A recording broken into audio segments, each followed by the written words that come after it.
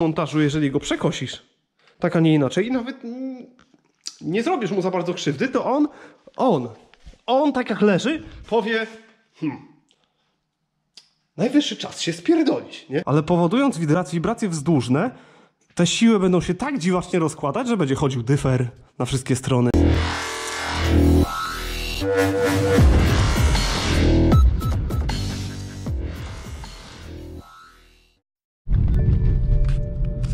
Kurde, człowiek se zrobił swapa.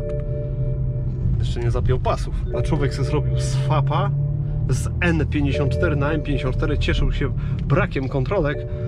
A tu kurna się pojawiła kontrolka Brake Pads. No kurde, ale klocki to ja mam, ale oczywiście yy, jak się zwie? Klocki to ja mam, ale pewnie jakiś czujnik się osrał. Ja tak powiem wam szczerze, szczerze, dosłownie szczerze, że odkąd zmieniłem tu silnik, to no zamknij te dupsko. Czekaj, tu pas jest. Zamknij się, już przestań kwiczeć. Odkąd, kurna, no jeszcze się zaciął. Odkąd ja mam to auto z tym silnikiem, to ja przyjąłem tutaj zupełnie inną taktykę w ogóle do wszystkiego. Co się da, trzeba wykodować, wykodować no. Kurna, pilot mi się osrał nawet z bramy. Kurna, działaj. Dziadu ty jeden. Ach, człowiek zamontował siłowniki, ale pilot ma zesrany. Znaczy dostałem w zestawie 7 pilotów, ale ja chciałem mieć swój stary pilot, który oczywiście kuźwa nie chce działać. Ale już tak wracając, o, wracając do kontrolek, to ja wykodowuję wszystko co się da. Yy, w tym, te wystające te kocie końcówy, co to tak wychodzi, taki koci pędzel, podajnik pasa, jeden czy drugi, to tak się potrafi dziadostwo zepsuć, że ja wziąłem i to wykodowałem. Zacząłem je drażnić czujniki parkowania. Patrzę, przedni, środkowy. No to kurna na cholerę mi przednie czujniki parkowania. Wykodowałem, nie? Błędy jakieś tam gówniane z czymś tam usunąłem sobie po prostu, bo stwierdziłem, że są zbędne. Yy, No ale niestety klocków nie jestem w stanie wykodować. I tak o, ale ogólnie to polecam wszystkim yy, wykodowanie wszystkiego co się da, bo to przecież kurna nie jest kurna nikomu tak potrzebne do szczęścia, nie? Jakieś maty pasażera, jakieś coś tam, klemy pirotechniczne, kurna na cholerę to komu? Kurna, ktoś planuje robić dachowanie? Co to co mi stuka? Panewa jakaś. Nie wiem, tak to ja nie narzekam na ten samochód, ale on to chyba nie lubi kamer. Bo co z nim, co przyjdę z kamerą do niego, to po prostu kurna. Co mówi tutaj? Słyszycie to? Dobra tam. Już nie dąsaj się nad sobą, rodzyneiro. Idę dalej, przymierzać coś, powiem wam za chwilę coś ciekawego. Może to kogoś zainteresuje. Bo tak ogólnie strasznie nudne rzeczy poruszam zawsze. Co jest?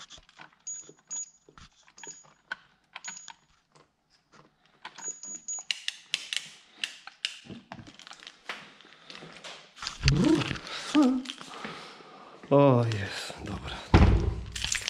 Jest woda, są szlugi, bo ja w tym roku przypominam, po, postanowiłem sobie, że będę palił.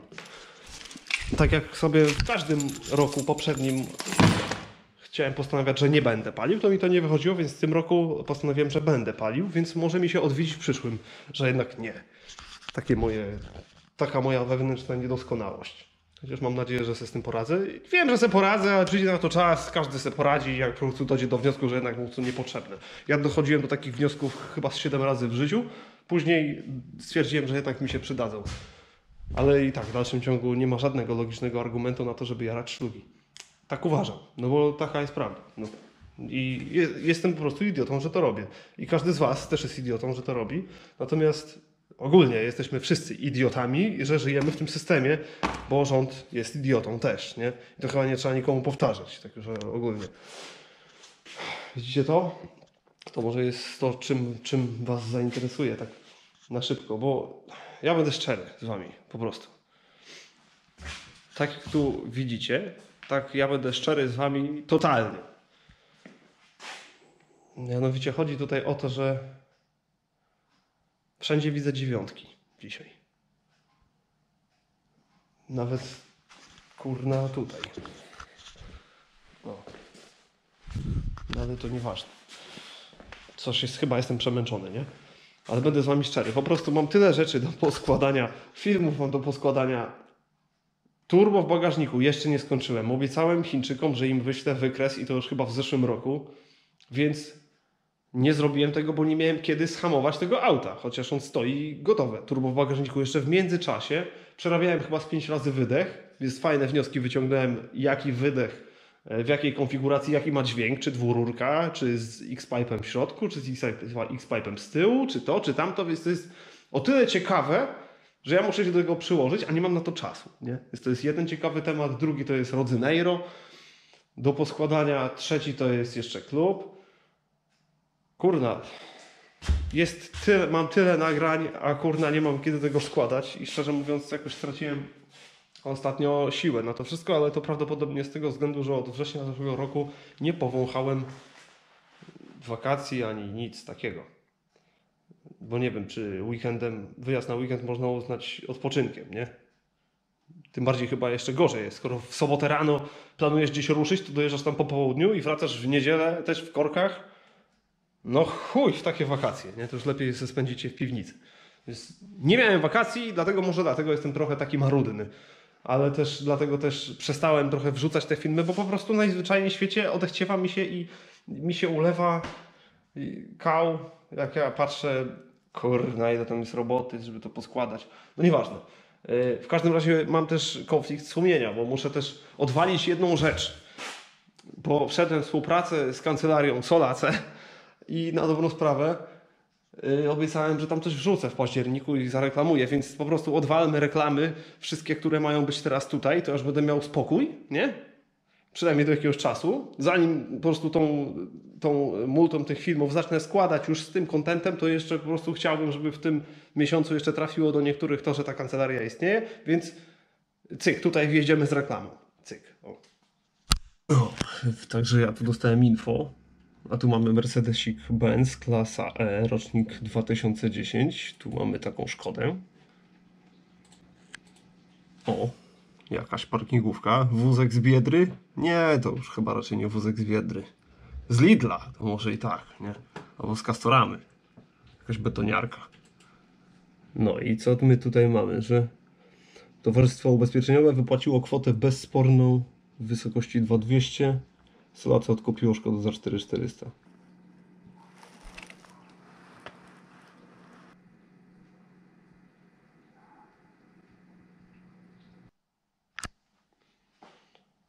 No, już jest po reklamie. A tak na dobrą sprawę, to już mam odwalone. To już mam kurna, to już. To jest ciekawe, fajne, nie? Ale z drugiej strony jeszcze trzeba mieć czas na to wszystko, nie? Kurde, jak ja marudzę. Marudzę, no. Ale dobra, yy, to macie tak. Gdzie jest kurna ten silnik? A, już siedzi. No widzicie, to jest, to jest takie właśnie kurna głupiego robota. Człowiek, ja już nie ogarniam. Naprawdę kurna się tak gubię w tym wszystkim. Budzę się tylko kurna rano. Otwieram oko. Ja już jestem w pracy. Gdzie jest latarka? A, pięć latarek było jatowskich. Jedna się już zesrała, ta się już przestała ładować. O, cyk. Ale ona jest cacy silnik tutaj był N42, bo idziemy do niego, zobaczymy, kurna, może, może zobaczycie jak ten śmietnik wygląda. To jest ten, zwal, to jest ten Valvetronic. Valve gównian kału. No nie wiem po cholerę go chłopaki przykryli, jak to jest kurna na rozbiórkę na części. O, Valve gównian kału. Czterocylindrowy mlach z E46. W sumie nie ma co tu oglądać, bo to prawie że na szampie już leży, nie? Ale dobrze. Więc tak, tutaj był ten silnik N42 bądź N46. Ja sobie ręki nie dam obciąć, bo nie wiem dokładnie. Żeby zrobić swapa na 6-cylindrówkę, no to po pierwsze trzeba mieć podnośnik. Nie? Żartuję, to było oczywiste. Dobra, widać co tu koliduje. Teraz już siedzi silnik 6-cylindrowy, więc drążek stabilizatora jest już dziadem, widzicie? Bo jest silnik przechylony, więc nie przejdzie. To jest raz. Przy okazji, katalizatory do wywalenia, bo one są tu kompletnie zbędne. W każdym silniku są kompletnie zbędne katalizatory. Chyba, że po prostu idziecie za systemem, no to wtedy możecie yy, współczuć sobie sami, że, że jeździcie na katach. Niech mi nikt nie pieprzy bzdur, że samochód z katami ma lepsze osiągi. Takich rzeczy po prostu nie ma i się nie dzieje, bo to w ogóle nie pasuje jedno do drugiego. Więc to jest raz. Czy tam dwa. Kolektory z M52 z pojedynczego Vanosa są idealnym, e, idealnym, można powiedzieć, zamiennikiem zamiast kolektorów y, z katalizatorami. Kolejna rzecz jest taka, że jak już te kolektory mamy trójkątne, to tak czy siak musimy mieć te portki. Ja już je mam, bo se wyciąłem. Nie? I dopiero wtedy możemy to przypasować, gdzie jest wydech. O, zdjęli chłopaki. Możemy to wtedy dopiero przypasować do seryjnego wydechu, więc to jest raz. Oczywiście kiedyś, ja wam powiem, że tutaj yy, trzeba też zwrócić na jedną rzecz uwagę, bo ja kiedyś się wpakowałem. Ja zacząłem spawać kiedyś kolektory, właśnie tak jak w tej konfiguracji, przyczepiłem do wydechu, ale później się dopiero zorientowałem, że ten silnik jest w niewłaściwej pozycji, nie? Bo właśnie na przykład w takiej jak teraz, bo on teraz sobie wisi, tak po prostu, na dwóch poduszkach, nie? No i kurna, człowiek, no wiadomo, człowiek nie jest idealny, czasami popełnia błędy, ale już teraz mam nauczkę i już takich rzeczy nie będę robił. Druga rzecz, co by tu jeszcze trzeba było zrobić? A, yy, ja oczywiście wszystkiego jeszcze nie wiem, bo się dopiero z tym mierzę. Takie różne rzeczy już robiłem w życiu, ale też na dobrą sprawę wszystko wiedzący nie jestem. Rurki od klimy na pewno trzeba by było takie jak W46, to też już e, przywiózł ten chłopak. Chłodnice są te same w manualu, inne są w automacie. Więc tak jakby w manualu, jak masz z manuala na manual, manual to jest lepiej, jak z automata na automat to też jest lepiej, chociaż ja osobiście nie preferuję swapów, robienia takich rzeczy na skrzynie, na skrzynie automatyczne. A już wam mogę powiedzieć z jakiego względu. Bo nie będziecie mieli stuprocentowej kontroli nad autem i koniec kropka. I nie ma logicznego argumentu, że ktoś lepiej jeździ automatem niż yy, manualem. Nie, bo po prostu to ze sobą nie współgra. Nawet jeżeli byś chciał zakręcić rondo automatem, to masz już ograniczone możliwości chociażby w postaci braku manualnego sprzęgła. Bo jak wjeżdżasz sobie na rondo i załóżmy lecisz bokiem, nie? Dwójeczka, gaz tam do połowy i tak se pulsacyjnie trzymasz, nie? To w momencie, kiedy ci dupa za bardzo poleci, to możesz się jeszcze uratować sprzęgłem. Wciskając sprzęgło, ten samochód ci się wyprostuje. Jeżeli dodasz jeszcze więcej gazu, to ci się obróci. A w momencie, kiedy masz automat, to po pierwsze, jak odpuścisz gaz, to przez kompresję obróci się jeszcze bardziej. A druga jest sprawa, że nie masz czym się ratować, bo masz tylko hamulec, więc możesz skończyć ewentualnie na krawężniku jak pizda. Więc ja dlatego preferuję bardziej e, skrzynię manualną niż automatyczną. Nie neguję tego, że nie jest to, nie jest, automat nie jest wygodniejszym rozwiązaniem, bo jest. Oczywiście, każdy, kto, e, kto lubi automaty, ale nie driftuje, będzie wybierał automat, bo jest wygodniejszy. Bo tam jedną nogę to sobie możesz wsadzić w dupę, a tylko prawą sobie dubiesz w nosie, nie? A rę lewą ręką możesz sobie operować pedałami, jak tam sobie tam człowiek, czy tam stryjenka życzy, nie? Co ja, no, czyli z, z manuala na manual, więc tutaj jeszcze kwestia jest wału. Wybierak będzie inny. Wybierak też, jest do zmiany. Wał, no już na, na pewno widzę na pierwszy rzut oka, skoro skrzynia. Zaraz, to jest stara skrzynia? Co to jest jakoś? Tak, to jest stara skrzynia, bo ma wieloklin taki, o, więksiejszy. A sprzęgiełko z sześciobiegowej skrzyni Z46 to ma wieloklinek taki, o, taki inniejszy trochę, nie? Taki mniejszy. To tam jest skrzynia ze 46. O. O, i ten ma ten inny, inny wieloklin, więc tak na sprawę y, jeszcze kmi, kminie, jak to wszystko połączyć ze sobą. Wygląda na to, że koło dwumasowo razem ze sprzęgłem y, z 3 litrówki pięciobiegowej nasze ze sprzęgłem, z dociskiem jest takie samo. Różnią się tylko tarczami. Chociaż na stuprocentowej pewności nie mam, ale porównywałem, bo mam jedno takie, drugie takie i tak dalej i wszystko mi na to wychodzi. Tu jeszcze mam nawet z N52, więc też mam porównanie. Więc na dobrą sprawę w tym przypadku czy to jak jest sześciobiegowa skrzynia, chcę wrzucić tu sześciobiegową skrzynię, to jak mam dwoma, kompletne sprzęgło z pięciobiegowej skrzyni, to na dobrą sprawę potrzebuję zmienić tylko tarczę a dociski dwoma zostają. Znaczy, oczywiście mogę się mylić, ale kurna, no, no chyba nie wiem, no słówmiarka jakoś nie oszukuje, nie? Wszystko jest praktycznie to samo. Czym by się to miało różnić? Numery też mają podobne. No nie wyjdzie w praniu, najwyżej kiedyś wam tam powiem, co mi nie wyszło. Przewody od wspomagania. Oczywiście jakiś Janusz tutaj yy, bardzo szybko chciał yy, osiągnąć swój cel, więc nie połasił się, żeby odkręcić, tylko obciął. Więc to jeszcze do przerobienia. Rurki wodne też oczywiście są do przerobienia, bo w serii N pompa jest w ogóle gdzieś w dupie. Dobrze, że przynajmniej jest mechaniczna, a nie elektryczna w tym tym, bo jak jeszcze jest elektryczna, to już jest w ogóle katastrofa jedna wielka, nie? Co do wiązki, właśnie jeszcze sam nawet nie wiem czego się spodziewać, ale z tego co wiem jest mniej roboty niż w Rodeneiro, na przykład w 92. Podobno mniej, nie? To jeszcze będę sobie ten mówił później. Najadłem się McDonalda i szkawkę taką. Odbija mi się jakiś plastik. Ale tak w zasadzie mordeczki to w sumie wszystko, co chciałem wam powiedzieć, bo zamysł tego filmu był prosty. Ja musiałem odwalić, szczerze mówiąc, to co chciałem odwalić, bo nie mam też czasu złożyć wszystkich filmów po kolei. Będę miał na to czas w listopadzie. Yy, tylko chciałem po prostu coś, coś tam do was pogadać, nie? A, zapraszam jeszcze na mój kanał, Trzecia Perspektywa Świadomości. Yy, link będziecie mieli pod tym filmem też, tak samo jak będziecie mieli linki jakieś inne, które są dla mnie istotne. Yy, w tamtym kanale Trzecia Perspektywa Świadomości będę poruszał trochę inne tematy niż samochodowe, ale jak coś to serdecznie zapraszam, nie? I cóż, a jeśli chodzi o napędy na przykład, nie? No to tutaj mamy ewidentnie małą głowę. Więc y, jak już wsadzamy trójaka, to już przydałoby się wsadzić dużą.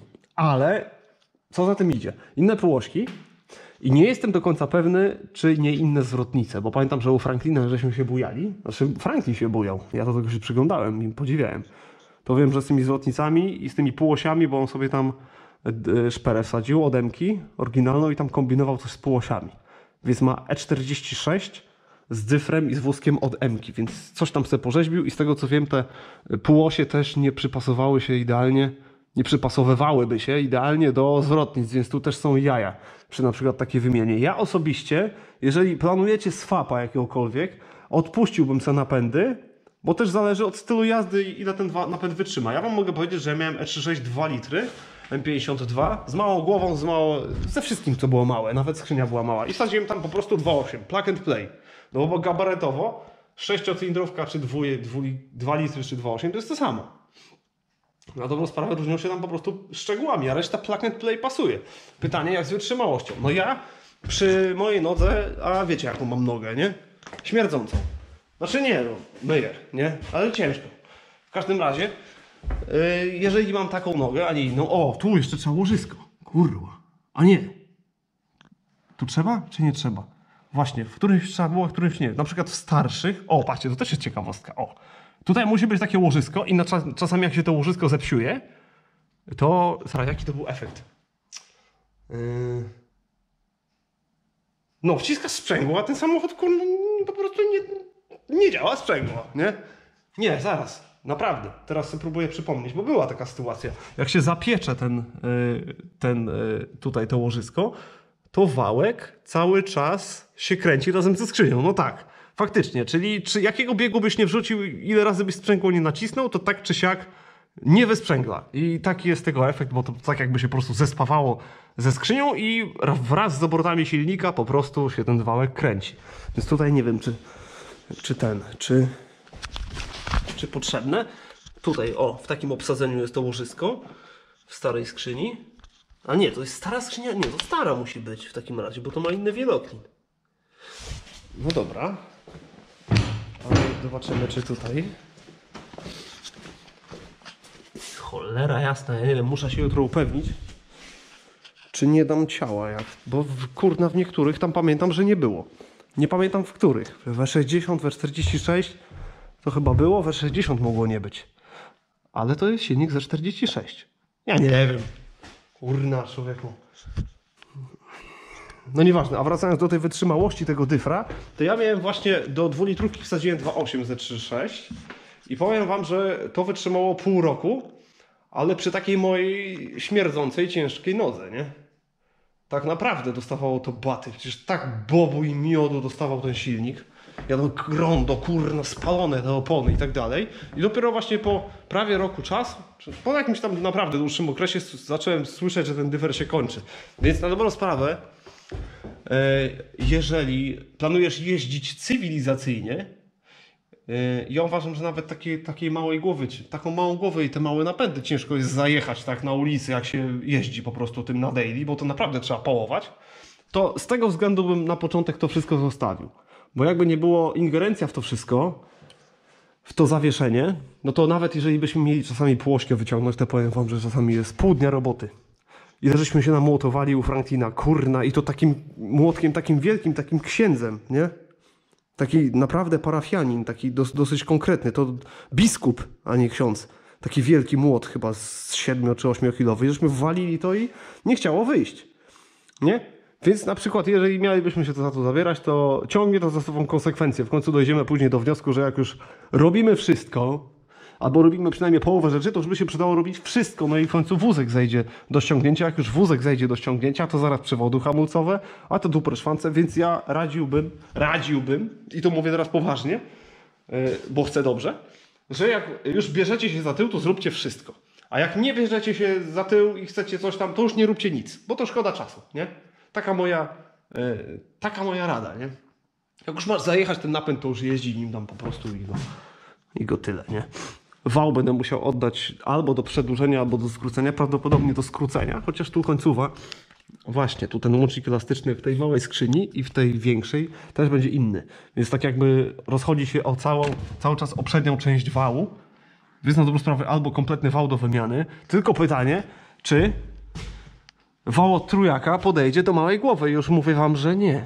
Więc zostaje tylko i wyłącznie skracanie albo przedłużanie wału. Jedna ciekawostka a propos wału. Y, Na pewno słyszeliście takie hipotezy, że wał do wyważenia, bo bije, nie? A tu jest kurna kłamstwo. Znaczy tak generalnie to jest wyważenie wału, więc prawdą jest to, że jeżeli przednią część wału ściągasz, to powinieneś też przynajmniej sobie przed ściągnięciem zaznaczyć, jak to było zrobione, żeby nie, nie inaczej to zrobić. Nie? Że, żebyś ten wał miał te swoje fabryczne wyważenie. Natomiast w, prakty w praktyce to powiem wam, że jeżeli wał chodzi prosto, i jeżeli te podpory i te gumy nie są pouszkadzane, to ten wał w żaden sposób nie wpływa na wibrację. To nie wiem, to są jakieś takie naprawdę marginalne przypadki. Albo ktoś faktycznie szukając przyczyny i, zna, i oddał wał do wyważenia, wymieniając parę rzeczy po drodze, stwierdził, że teraz już wibracji nie ma i powiedział, że to była kwestia wyważenia wału. I to jest, zostaje argument, który nie jest potwierdzony. Ja uważam, że te argumenty w ogóle są jakieś z dupy. A już mówię wam dlaczego. Kiedyś wziąłem, tak z głupia Franc, we 30. Potrzebowałem skrócić wał. Wziąłem ten wał na tamto i madło. Obciąłem to i po prostu przypasowałem to tak do równi, gdzie jak już ten, jak już stał jak taki, taki, o, nie? To jak go nawet dotknąłem migomatem tak w jednym miejscu, to już była taka tolerancja, że już widziałem na oczach, że się normalnie ściąga spaw i że się przesuwał. Zrobiłem z drugiej strony i znowu ściągnęło na wprost. Więc połapałem z czterech stron, zespawałem to wszystko i wyszła taka kurna brzydka, koślawa koza, nie? Z tego wału. No ale założyłem. Kurna i wiesz co? Pojechałem. Pojechałem jak 30, przejechałem się tu po Wawrze i jak ja spojrzałem, kurna, zanim wyjechałem, mówię, ale będzie tukło. Ten wał normalnie chodził na wszystkie strony. A wiecie, że kurna nie czułem tego? Nie czułem tego jak jechałem. Wie kurna, jadę 60-70 i nie czuję żadnych wibracji, ja nie wiem o co chodzi. A rozpędziłem samochód na podnośniku i normalnie, kurna, widać było, nie? Co się dzieje. Więc ja uważam, że jeżeli ja przy 70 na godzinę z takim krzywym wałem nie widziałem wibracji, to niech mi nikt nie pierdzieli, że fabryczny wał stracił wyważenie i trzeba go wyważyć i to jest powód na przykład wibracji przy 100 na godzinę. Nie. Jeśli chodzi o wibracje, to jeszcze wam powiem ciekawostkę, nie? Kurna, narzucam tych ciekawostek, ale to tylko z tego względu, że yy, nie chcę wam po prostu na pusto marnować czasu, chociaż już podejrzewam, że ktoś się zdążył trzy razy wystrać, jak siedzi na kiblu. Jeśli chodzi o wał, to częstą przyczyną, a może tu jest ten wał, to wam pokażę, o!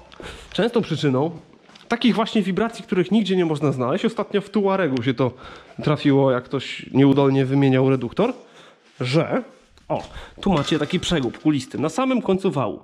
I na dobrą sprawę, podczas zwykłego montażu i demontażu, jeżeli go przekosisz, tak a nie inaczej, i nawet nie zrobisz mu za bardzo krzywdy, to on, on, on tak jak leży, powie, hmm, najwyższy czas się spierdolić, nie? I powkurzać trochę klienta.